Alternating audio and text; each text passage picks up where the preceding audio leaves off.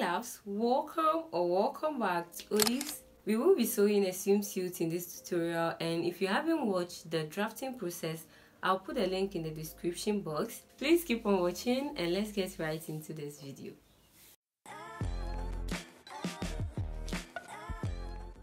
For this, I'll make use of this black material called Lycra and I also have all my patterns here. Now this material stretches at one side really well and then doesn't really stretch at one other side.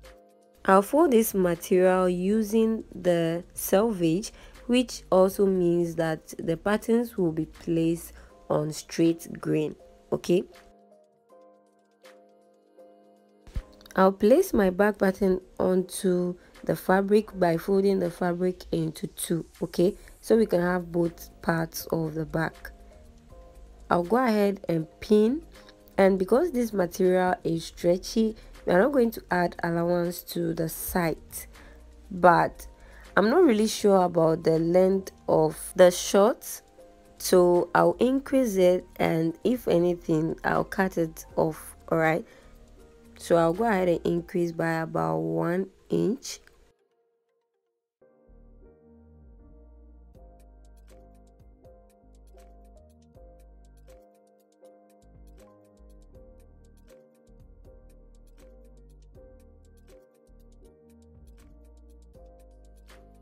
so there will be no side seam allowance but we will add half inch to the inner thigh as well as the center back including the crotch area and this will serve as zip allowance or zip extension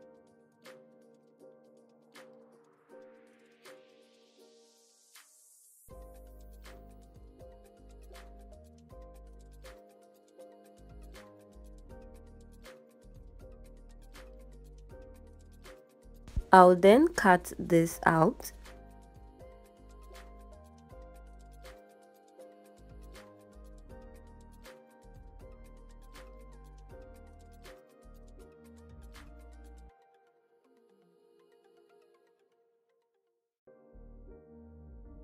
I'll also notch the waist and the hip line. Moving on to the front, I'll place the front on fold. Since this will be joined to the strut, I'll add half inch to the waist which will serve as joining allowance.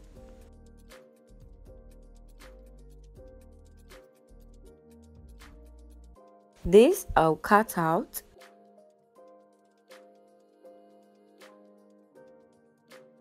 I'll then fold the material into two and I'll place the shorts pin add allowance to the waist of the short the inner thigh as well as the crotch area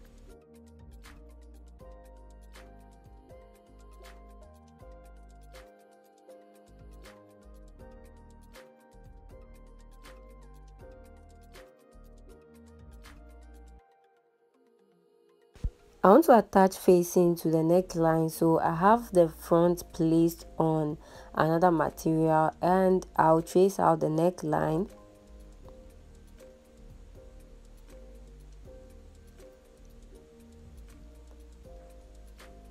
The width of the shoulder will be around 2 inches. The depth has to be the same but I'll be adding a design around the center front so I only want the facing to be longer or to be showing right? So i made it one and half. I'll then connect all these points together.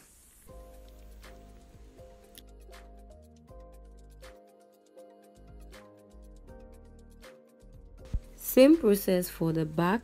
The shoulder width has to be the same so two inches and the depth of the center back also depends on you for this i wanted it deeper so i came down by two and a half inches from the center back of the neck and connected all of these together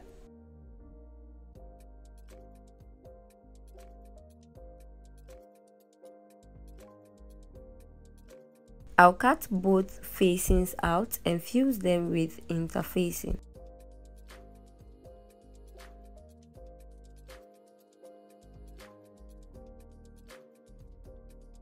I tried the short on and the length seems to be okay. So I'll trim off what I added.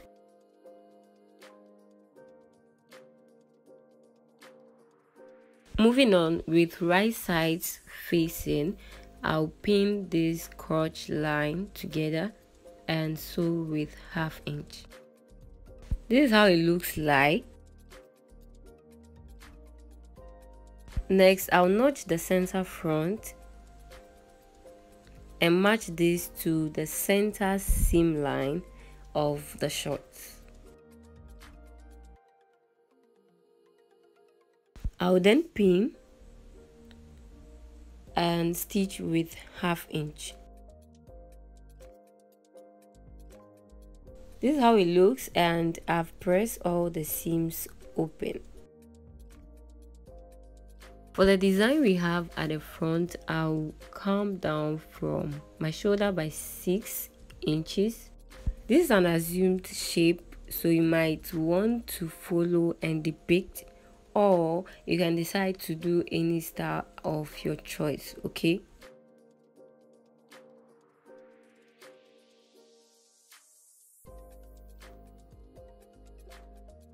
This is what it looks like and you might want to also direct the pointed edge to the shoulder okay? So you can extend the design. It is better to do the design small so after sewing it can become big okay? So I'll cut around but not exactly on the line I've made okay? I'll cut away from it and the excess I've left will be the sewing allowance so that means that while sewing I wouldn't sew beyond the line I've marked I wish I had fused interfacing before cutting but all the same after cutting I'll go ahead and iron interfacing. And also cut out the interfacing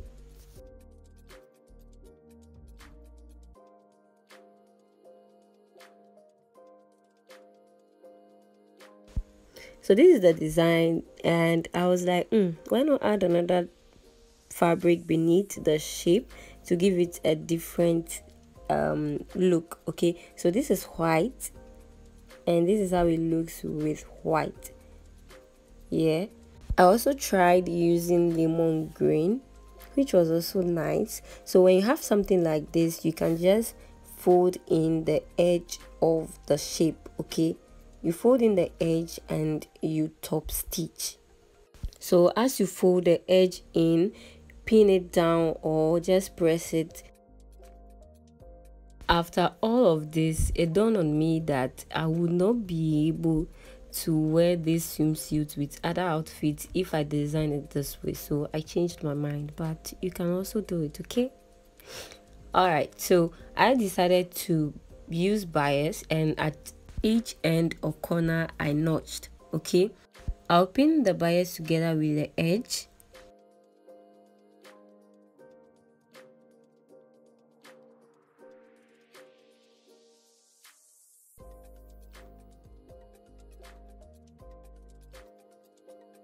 Where the ends of the bias meet I'll pin them together and stitch. So I'll do this and afterwards I'll sew the edges together notch under stitch turn and top stitch okay? I've gone ahead to do that and it opened up more and it was also gaping. So I had to hold each end that's the corners like a dart so it doesn't gape guys i did a lot of alteration to the ends to keep them in place you know. I held it. I saw i saw this part like two or three times but i'm just saying it so that you know that you're going to do it okay? But if you're busty you wouldn't hold much like i did okay? So that is what i'm doing currently. I just held it that I'll move on to pinning the shoulders of the front together with the back.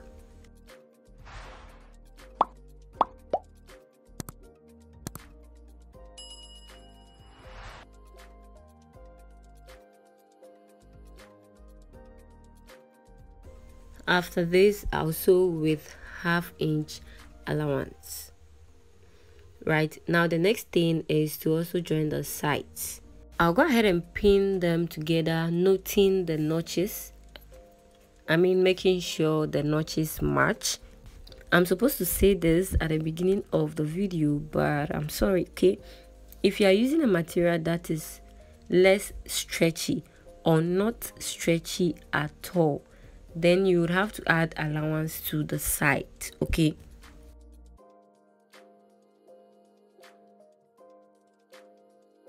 so after pinning all of this together i will just join with half inch. I also went ahead to add interfacing to the center back.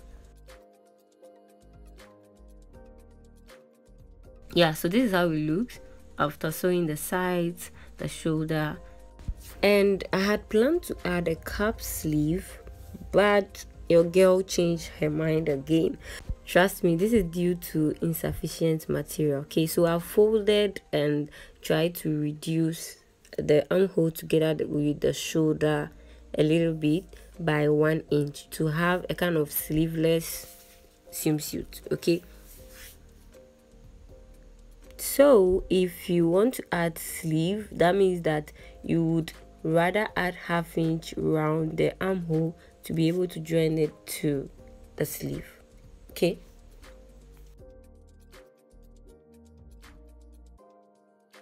Next i'll join the shoulders of the facing with half inch. Instead of using facing you might also want to use bias okay? So i'll sew that and i'll find the midpoint of the neckline like this and also do the same for the facing. I'll match both notches together match the shoulder seams together as well. Pin all of these together. Stitch with half inch. I'll then snip trim off excess and finally under stitch.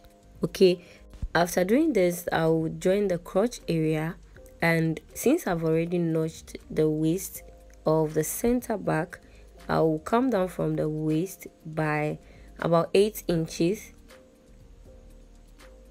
So here i'm folding and i'll locate the waist come down by 8 inches.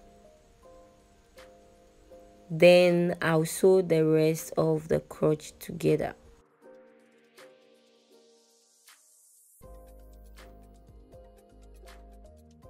I've gone ahead to do all of that and at the edge of the facing I use my zigzag stitch to in it okay? Now the next thing is to join the inner crotches together and I'll meet both seams of the crotch like this pin them together and then pin the rest of the inner crotch. Right so I'll sew with half inch and also hem the lower part of the shorts. I moved on to fix my invisible zip.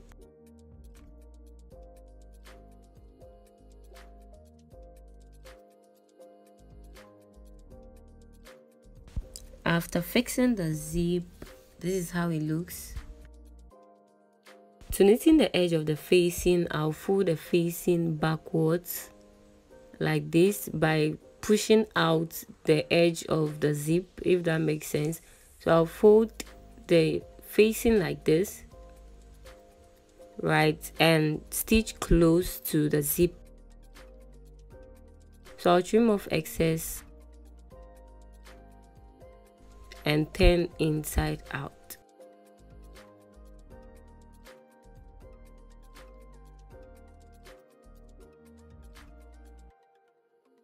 and you should have something like this.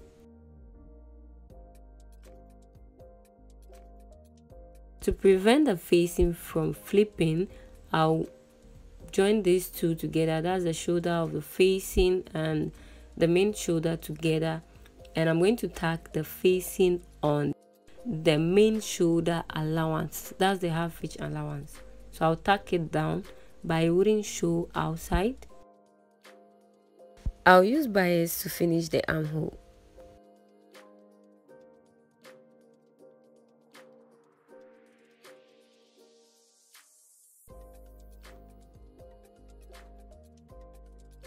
In all, I love how it turned out. It feels so comfortable. I just pray I will not abuse this swimsuit with this skirt.